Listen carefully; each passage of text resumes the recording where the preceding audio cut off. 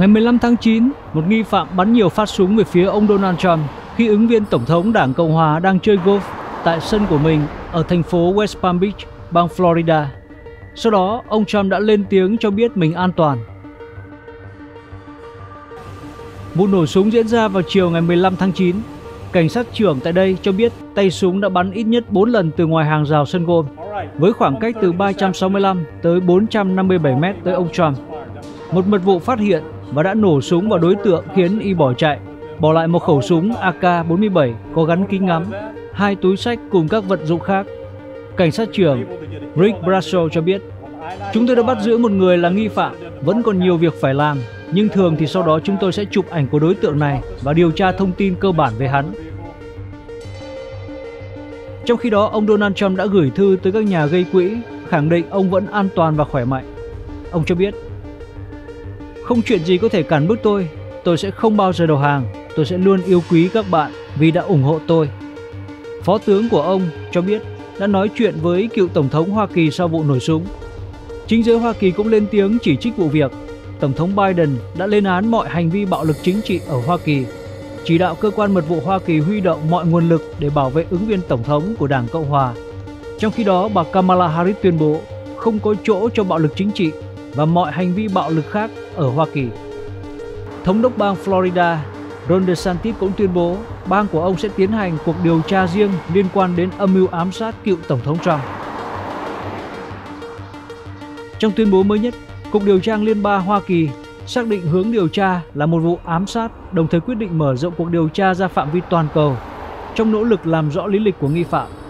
Theo đó, giới chức đang tìm cách kiểm tra các tài khoản mạng xã hội liên quan đến nghi phạm trong vụ ám sát mới nhất nhắm vào ông Trump. FBI cũng khẳng định cuộc điều tra đang ở giai đoạn đầu và chính quyền vẫn chưa xác định được bất kỳ kẻ đồng phạm nào có khả năng nhắm vào ông Trump. Thống đốc bang cũng tuyên bố trên mạng X rằng Florida sẽ tiến hành cuộc điều tra riêng về vụ ám sát không thành tại Trump International Golf Club. Cảnh sát tại đây đã xác định danh tính của nghi phạm là Ryan Wesley Roth, 58 tuổi, một người đàn ông da trắng và hiện đang sống tại bang Hawaii. Đối tượng làm việc trong ngành xây dựng, không có kinh nghiệm quân sự. Tuy nhiên, hồ sơ cảnh sát cho thấy đối tượng từng hàng chục lần chạm trán với lực lượng hành pháp và từng bị bắt khi còn sinh sống tại bang Bắc Carolina. Đáng chú ý năm 2022, nghi phạm bị cảnh sát chặn xe, sau đó cầm súng bỏ trốn rồi cố thủ ở văn phòng công ty xây dựng của mình trong 3 giờ trước khi bị bắt. Nghi phạm chuyển đến Hawaii từ năm 2017 và đã mở một công ty xây dựng mới tại đây cùng con trai. Người này cho biết anh ta không nói chuyện với cha mình kể từ vụ tấn công. Theo điều tra lịch sử hoạt động trên mạng xã hội, đối tượng từng có bài đăng kỳ lạ trên mạng xã hội về Ukraine và bị cho là ám ảnh bởi cuộc xung đột tại quốc gia này. Đối tượng từng tham gia một bài phỏng vấn trên tờ New York Times năm 2023 về những tình nguyện viên Hoa Kỳ ủng hộ Ukraine. Khi đó đối tượng cho biết đã đến Ukraine sau khi Nga mở chiến dịch quân sự đặc biệt ở đây hồi tháng 2 năm 2022, nhưng không rõ đối tượng có chiến đấu tại đây hay không. Cũng trong bài phỏng vấn trên New York Times, đối tượng cho biết đang chiêu mộ cựu binh quân đội Afghanistan, những người rời bỏ đất nước để chạy trốn Taliban để chiến đấu cho Kiev. Ông nói hàng chục người đã bày tỏ sự quan tâm, song không rõ bao nhiêu cựu quân nhân thực sự tới Ukraine. Trong những bài đăng hồi tháng 5 năm 2024, đối tượng tiếp tục có động thái tuyển quân tới chiến đấu ở Ukraine. Con trai của nghi phạm cũng thừa nhận cha mình đã đến Ukraine để làm tình nguyện cung cấp viện trợ nhân đạo cho quân đội Ukraine. Ngoài ra đối tượng này thường xuyên đăng bài viết về chính trị có chiều hướng cực đoan và chỉ trích với Đảng Cộng Hòa, trong đó có những bài chỉ trích ông Trump. Cảnh sát trưởng cho biết nghi phạm không có biểu lộ cảm xúc khi bị cảnh sát chặn xe vào hôm 15 tháng 9. Nghi phạm không có vũ khí vào thời điểm bị bắt. Ngoài ra hiện vẫn chưa có thông tin cụ thể về động cơ của nghi phạm trong vụ nổ súng gần sân golf của ông Trump. Trong số vật dụng mà nghi phạm bỏ lại tại hiện trường, cảnh sát phát hiện có hai ba lô được treo lên hàng rào gần sân golf.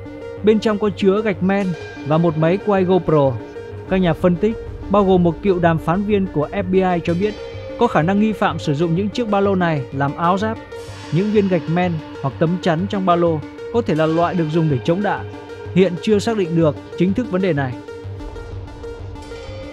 Cùng ngày, Cục Điều tra Liên bang Hoa Kỳ ra tuyên bố cho biết cựu Tổng thống Trump là mục tiêu của một vụ ám sát rõ ràng. Công tác an ninh xung quanh hiện trường cũng đã được tăng cường. Đây là vụ nổ súng thứ hai nhắm vào ông Trump chỉ trong vòng 2 tháng. Hồi tháng 7 năm 2024, ông cũng bị bắn khi đang vận động tranh cử ở bang Pennsylvania. Vụ việc này đã làm dấy lên những quan ngại về việc bảo vệ an toàn cho giới lãnh đạo Hoa Kỳ hoặc ứng viên tổng thống của nước này. Cựu phó giám đốc FBI Andrew McCabe cho rằng nghi phạm đã tự lên kế hoạch rất kỹ lưỡng khi chọn vị trí ngắm bắn chỉ cách nơi ông Trump đứng khoảng 300 tới 500 mét. Điều này chỉ ra rằng đối tượng đã biết cách thức bố trí ở sân golf. Tuy nhiên, không rõ ràng bằng cách nào nghi phạm có thể biết ông Trump sẽ chơi golf tại đây vào ngày 15 tháng 9. Trong vụ ám sát hụt lần trước, ông Trump bị tấn công khi đang vận động tranh cử. Nghi phạm được cho là đã lên kế hoạch từ nhiều tháng trước. Y tìm hiểu về lịch trình công khai của ông Trump và thậm chí đã tới hiện trường để thăm dò một ngày trước đó mà không bị phát hiện. Sau vụ ông Trump bị ám sát hụt hồi tháng 7 năm 2024, mật vụ Hoa Kỳ đã tăng cường các biện pháp an ninh dành cho cựu tổng thống. Theo đó, ông Trump được bảo vệ bằng các tấm kính chống đạn bao quanh khi phát biểu vận động tranh cử ngoài trời. Tuy nhiên, các sân golf, đặc biệt là khu bất động sản của cựu tổng thống Hoa Kỳ, từ lâu đã là nguồn lo ngại đối với các nhân viên mật vụ được giao nhiệm vụ bảo đảm an ninh khi các tổng thống chơi golf.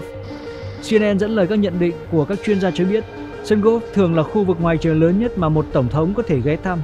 Thiết kế của sân thường có các con đường công cộng, có nhiều cây cối, đồi núi để những kẻ ám sát ẩn náu, khiến cho việc bảo vệ khu vực này trở nên đặc biệt khó khăn với mật vụ Hoa Kỳ.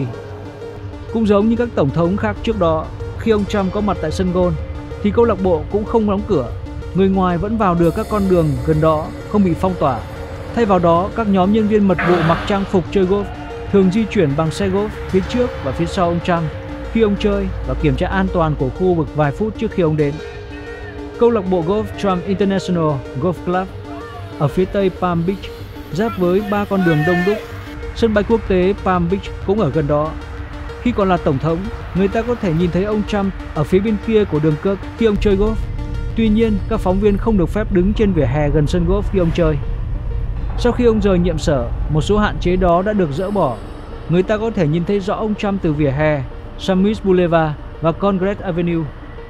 Một trong những cuộc họp báo vào ngày 15 tháng 9, cảnh sát trưởng của quận Palm Beach thừa nhận rằng khi ông Trump không còn là tổng thống đương nhiệm, khả năng bao quát xung quanh sân golf của mật vụ đã bị hạn chế.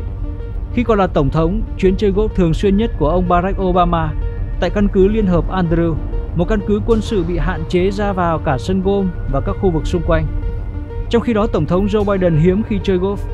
Sau vụ việc ở Palm Beach, dư luận đang đặt ra câu hỏi về việc ông Trump tiếp tục trở thành mục tiêu ám sát, nhưng mật vụ Hoa Kỳ lần này được khen ngợi vì đã ngăn chặn được vụ việc. Báo động về an ninh đã được tuyên bố tại khu vực từ lúc 13 giờ 30 ngày 15 tháng 9 khi mật vụ Hoa Kỳ báo cáo rằng có tiếng súng nổ. Vào thời điểm đó, ông Trump đang chơi golf với người bạn và là nhà tài trợ lớn cho Đảng Cộng hòa, ông trùm bất động sản Steve Witkoff. Họ đang ở khu vực giữa lỗ thứ 5 và lỗ thứ 6 của sân golf 18 lỗ. Cảnh sát trưởng Bradshaw giải thích rằng khu vực này được bao quanh bởi những bụi cây rậm rạp, một cơn ác mộng thực sự của cơ quan an ninh và điều đó cho phép nghi phạm ám sát có thể núp ở rìa sân gỗ mà gần như không bị phát hiện. Các đặc vụ liên bang tiết lộ, ngoài khẩu súng trường kiểu AK-47, ống ngắm Nghi phạm còn có hai ba lô cũng như một thiết bị quay phim GoPro mà ông Bradshaw cho biết nó chỉ ra rằng hắn có ý định tự ghi lại hành động của mình. Ngay sau vụ việc, phân tích ban đầu cho thấy khung cảnh gồm hai câu chuyện khác nhau. Câu chuyện đầu tiên tập trung vào việc ông Trump bị lộ như thế nào, ngay cả khi an ninh đã được tăng cường sau vụ ám sát hộp, và việc một đối tượng được trang bị vũ khí hạng nặng và việc một đối tượng được trang bị vũ khí quân dụng dễ dàng xâm nhập vào sân golf và nơi ẩn náu bụi rậm như thế nào. Theo cảnh sát trưởng Bradshaw, nếu ông Trump là tổng thống đương nhiệm vào thời điểm đó, ông sẽ không bao giờ được mật vụ cho phép chơi golf trong một môi trường mở như vậy. Nhưng ông ấy không phải là tổng thống đương nhiệm, vì vậy chúng tôi bị giới hạn trong những gì mật vụ có thể. Câu chuyện thứ hai tích cực hơn. Không giống như vụ ám sát hụt, thời điểm mà mật vụ Hoa Kỳ phải đối mặt với những câu hỏi nghiêm trọng về năng lực của mình dẫn đến việc giám đốc mật vụ khi đó là Kimberly Chettle từ chức. Vụ việc ngày 15 tháng 9 đã khắc họa hoạt động của cơ quan này theo một cách tươi sáng hơn. Kẻ tình nghi là tay súng đã bị một mật vụ đóng vai trò là người thăm dò phía trước phát hiện. Anh này đi trước ông Trump một hoặc hai lỗ golf để xác định các mối đe dọa tiềm ẩn. Mặc dù có nhiều cây xanh rậm rạp hai bên sân, mật vụ vẫn nhìn thấy một nòng súng trường nhô ra và chủ động tấn công nghi phạm, bắn từ 4 đến 6 phát đạn. Ông Brasso nói, cơ quan mật vụ đã làm chính xác những gì họ được giao và đặc vụ của họ đã làm một công việc tuyệt vời. Ngay sau đó, việc bắt giữ nghi phạm cũng diễn ra rất nhanh Khi bị bắt, nghi phạm đã bỏ súng trường, chạy trốn qua bụi rậm và nhảy lên chiếc Nissan màu đen mà hắn được cho là đã để lại ở một vị trí có tính toán để tẩu thoát nhanh chóng. Một điều may mắn là trong tình huống này, một người qua đường đã nhìn thấy hắn chạy trốn và chụp ảnh chiếc xe, bao gồm cả biển số xe. Công nghệ giám sát ở Florida mạnh đến mức chỉ trong vòng vài phút, biển số xe đã được chạy qua máy đọc biển số của tiểu bang. Nghi phạm trốn thoát đã nhanh chóng bị theo dõi trên đường cao tốc e I-95 và ngay lập tức bị bắt giữ dưới họng súng. Theo cảnh sát trưởng hạt Martin lân cận, nơi vụ bắt giữ được thực hiện, nghi phạm lúc này không có vũ khí và có vẻ tương đối bình tĩnh, không biểu lộ nhiều cảm xúc. Cách thức mẫu mực mà lực lượng thực thi pháp luật liên bang Hoa Kỳ và địa phương hợp tác với nhau để ngăn chặn nguy cơ xảy ra một sự kiện thảm khốc, bao gồm cả việc bắt giữ nghi phạm, đã làm giảm bớt sự căng thẳng trong vụ việc khi những màn đổ lỗi không thể tránh khỏi diễn ra. Tuy vậy, vẫn có những vấn đề được phơi bày ra và đòi hỏi câu trả lời.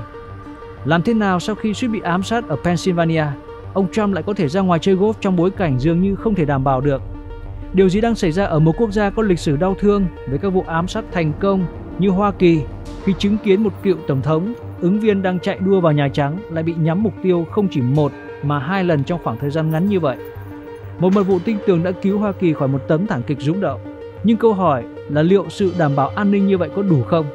Người phát ngôn của lực lượng FBI nhấn mạnh, mức độ đe dọa rất cao, chúng ta đang sống trong thời đại nguy hiểm.